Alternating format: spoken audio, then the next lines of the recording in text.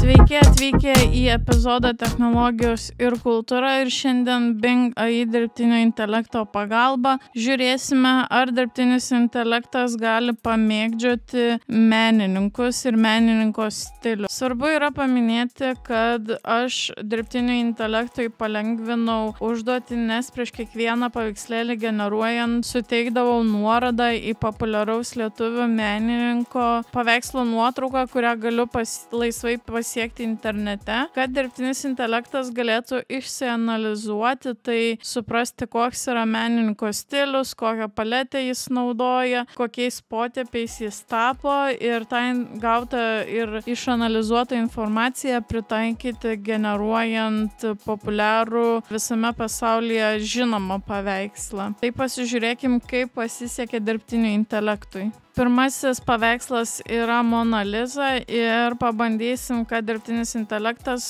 parodytų tai Antano Samuolio stiliumi. Iškart matau, kad šitas Mona Lisas yra meme material, Tai šiaip būtų įdomu sukurti mymų iš šitų paveikslėlių. Matau, kad ne visos monolizos į tą pačią pusę yra atsisukusios ir fonas labai skiriasi. Jeigu atskiriat Antano Samuolio stilių, tai parašykit komentaruose, ar gerai padarė dirbtinis intelektas. Kitas paveikslas, kurį dirbtinis intelektas turėjo sugeneruoti, tai yra žvaigždėta naktis Vytauto Kasiulio stiliumi. Tai matome žvaigždėtos nakties motyvus, jie visai yra gana atpažįstami ir tikrinu, ar, pavyzdžiui, spalvų paletės yra panašios, ar yra kažkoks panašumas su nuoroda, kurią aš daviau dirbtiniam intelektui. Tai šiaip iš tikrųjų sunku pasakyti man, ar tai buvo Vytauto Kasiulio stiliaus, gal net sakyčiau labiau ne negu taip. Kitas paveikslas yra Veneros gimimas ir turėjo dirbtinis intelektas pavaizduoti Stasio Ušinsko stiliumi. Iš karto galiu pasakyti, kad Veneros gimimas sukūrė tokius, atrodo, gana originalius paveikslėlius, kurie kiekvienas atrodo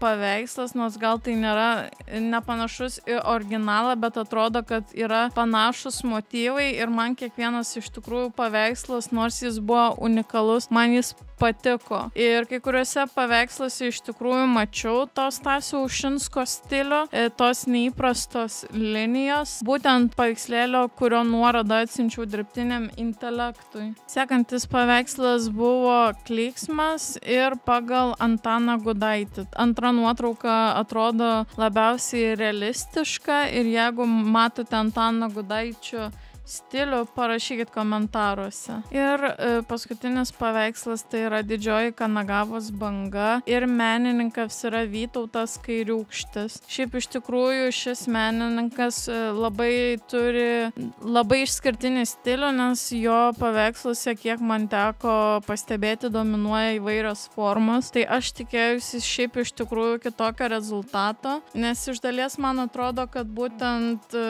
kaip dirbtinis intelektas pabandė pritaikyti Vytauto kairiukščio stilių, tai jam atrodo, kad visai nepavyko, nes man atrodo, kad trūksta kažkokių, kažkokių ryškesnių formų. Tai aš manau, kad šiaip apskritai dirbtiniam intelektui nelabai sekasi išsistudijuoti menininko stilių, tai yra tam tikras detalės, kuo menininko ir jo darbai yra ypatingi ir išsiskiria ir tada perkurti kitą kito menininko paveikslą, kad būtų to stiliaus. Tai aš manau, kad čia brėžiam ribą ties, kol kas brėžiam ribą ties dirbtinio intelekto galimybėmis. Asmeniškai man labiausiai patiko ir gal net geriausiai buvo pakeistas paveikslėlis, tai Veneros gimimas. Tai šiek tiek pabandžiau tai daryti ir su kitais menininkais, tai va dabar galite pastebėti rezultatą. O šiaip dar be to pabandžiau paklausti dirbtinio